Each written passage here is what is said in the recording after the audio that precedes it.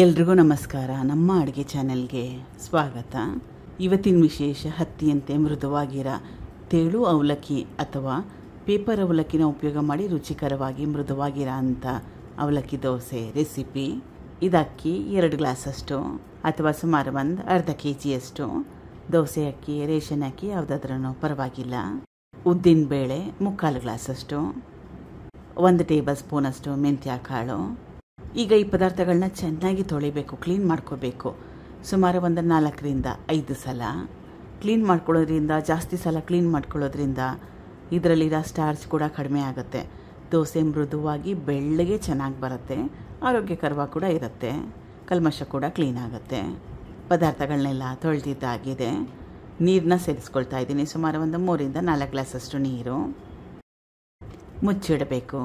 ಸುಮಾರು ಒಂದು ನಾಲ್ಕರಿಂದ ಐದು ಗಂಟೆಗಳ ಕಾಲ ನೆನೆಯಕ್ಕೆ ಬಿಡಬೇಕು ಮೆಂತ್ಯಕಾಳು ಅವಲಕ್ಕಿ ಉದ್ದಿನಬೇಳೆ ಎಲ್ಲ ಚೆನ್ನಾಗಿ ಮೆತ್ತಗಾಕಬೇಕು. ಸುಮಾರು ಒಂದು ನಾಲ್ಕರಿಂದ ಐದು ಅವರ್ ಆದಮೇಲೆ ಎಲ್ಲ ಪದಾರ್ಥಗಳು ಚೆನ್ನಾಗಿ ನೆಂದಿದೆ, ಮೆತ್ತಗಾಗಿದೆ. ಇದು ನೆನೆಸಿಟ್ಕೊಂಡಿರೋ ಪೇಪರ್ ಅವಲಕ್ಕಿ ಅಥವಾ ತೆಳು ಅವಲಕ್ಕಿ, ಒಂದು ಗ್ಲಾಸಷ್ಟು. ಹತ್ತು ನಿಮಿಷಕ್ಕೆ ಮುಂಚೆ ನೆನೆ ಹಾಕಿದ್ದೆ. ತೆಳು ಅವಲಕ್ಕಿ ಬೇಗ ನೆಂದೋಗುತ್ತೆ. ನೋಡಿ ಈಗಾಗಲೇ ನುಣ್ಣಗಾಗಿದೆ. ಹತ್ತು ನಿಮಿಷಕ್ಕೆ ಮುಂಚೆ, ರುಬ್ಬಕ್ಕೆ ಹತ್ತು ನಿಮಿಷಕ್ಕೆ ಮುಂಚೆ ನೆನೆ ಹಾಕ್ಕೊಂಡ್ರೆ ಸಾಕಾಗುತ್ತೆ. ಮೊದಲನೇ ಸ್ಟೆಪ್ಪಲ್ಲಿ ನೆನೆಸಿಟ್ಕೊಂಡಿರೋ ಅವಲಕ್ಕಿನ ರುಬ್ಕೊಳ್ತಾ ಇದ್ದೀನಿ. ರುಬ್ಬಿದ್ದಾಗಿದೆ, ಬೇರೆ ಬಟ್ಲಿಗೆ ಸೇರಿಸ್ಕೊತಾ ಇದ್ದೀನಿ. ಇದು ಅಕ್ಕಿ, ಮೆಂತ್ಯ, ಕಾಳೆಲ್ಲ ನೆನೆ ಹಾಕಿದ್ನಲ್ಲ, ಅದನ್ನು ಕೂಡ ಚೆನ್ನಾಗಿ ನುಣ್ಣಗೆ ರುಬ್ಕೋಬೇಕು, ದೋಸೆ ಮಾಡ್ಕೊಳಂಗಿದ್ರೆ. ಎಲ್ಲವುದನ್ನು ರುಬ್ಬಿದ್ದಾಗಿದೆ. ಸುಮಾರು ಒಂದೆರಡರಿಂದ ಮೂರು ನಿಮಿಷ ಈ ರೀತಿಯಾಗಿ ಚೆನ್ನಾಗಿ ಕಲಿಸ್ಕೋಬೇಕು. ಯಾಕಂದರೆ ನಾವು ಒಟ್ಟಿಗೆ ರುಬ್ಬಿರಲ್ಲ ಬ್ಯಾಚ್ ವೈಸ್ ರುಬ್ಬಿರ್ತೇವೆ.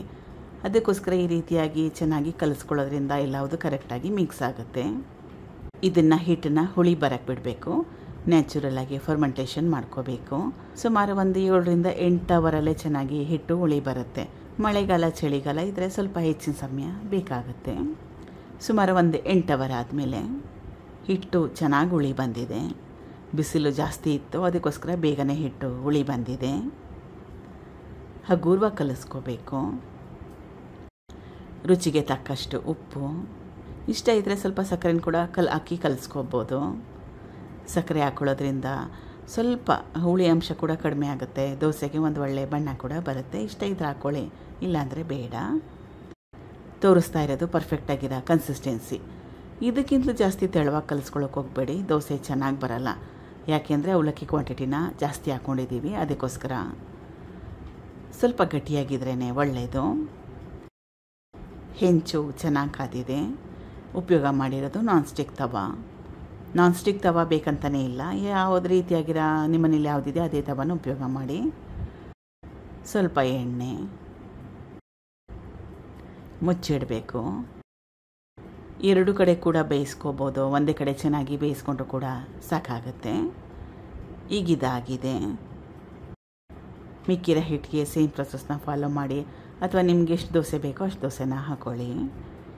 ಕಾಯಿ ಚಟ್ನಿ ಜೊತೆಗೆ ಬೆಸ್ಟ್ ಕಾಂಬಿನೇಷನ್ ಆಮೇಲೆ ಇದು ವೆಜಿಟೇಬಲ್ ಸಾಗು ಜೊತೆ ಕೂಡ ಚೆನ್ನಾಗಿರುತ್ತೆ. ಸೆಟ್ ದೋಸೆ ಕೊಡ್ತಾರಲ್ಲ, ಆ ರೀತಿ ಸಾಗು ಕೂಡ ಮಾಡ್ಕೊಂಡು ತಿನ್ಬೋದು. ಟ್ರೈ ಮಾಡಿ ನೋಡಿ. ಎಷ್ಟೊಂದು ಜನಕ್ಕೆ ಏನೋ ಆಗಲಿ, ಮೊಸರಾಗಲಿ, ರವೆ ಹಾಕ್ಕೊಳ್ಳೋದು ಇಷ್ಟ ಆಗಲ್ಲ. ಅಂಥವರು ಈ ರೆಸಿಪಿನ ಟ್ರೈ ಮಾಡಿ ನೋಡಿ. ಥ್ಯಾಂಕ್ ಯು ಫಾರ್ ವಾಚಿಂಗ್ ಧನ್ಯವಾದಗಳು.